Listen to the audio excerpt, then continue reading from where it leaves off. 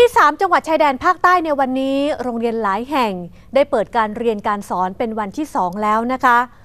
ก็อยู่ท่ามกลางการคุมเข้มของเจ้าหน้าที่ หลังจากมีข่าวว่าจะมีการก่อเหตุความไม่สงบทำให้ครูต้องเพิ่มความระมัดระวังตัวเองเพิ่มมากขึ้นด้วย ไปติดตามเหตุการณ์นี้จากคุณอัธพลดวงจินดาค่ะ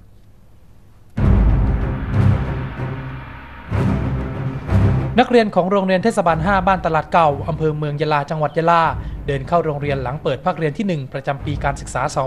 2556 ท่ามกลางการต้อนรับจากครู รวมถึงผู้ปกครองที่มาส่งลูกหลาน เป็นวันที่ 2 แล้ว นอกจากนี้ยังมีโรงเรียนอีกกว่าครึ่งที่จะเปิดภาคเรียนในวันที่ 16 พฤษภาคม ยังซ่อนเร้นความรู้สึกหวาดหวั่นของครูไทยพุทธถึงความปลอดภัยหลังตกเป็นเป้าหมายของกลุ่มก่อความไม่สงบ ที่อาศัยช่วงจังหวะนี้ในการก่อเหตุ กว่า 17 ปีของครูสอนพละศึกษาชาวไทยพุทธคนนี้ ไม่เคยมีแม้แต่วันเดียวที่เขาจะมั่นใจในความปลอดภัย ขณะเดียวกันก็ได้สะท้อนออกมาว่า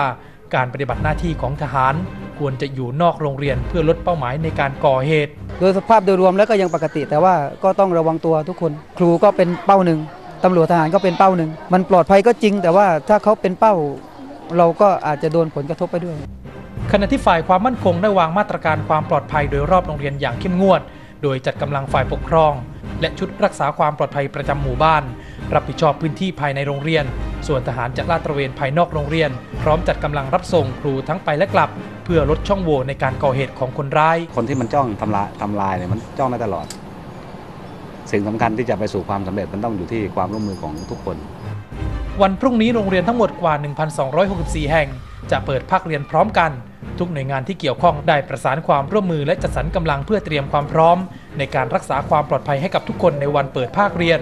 อัตพลดวงจินดา รายงาน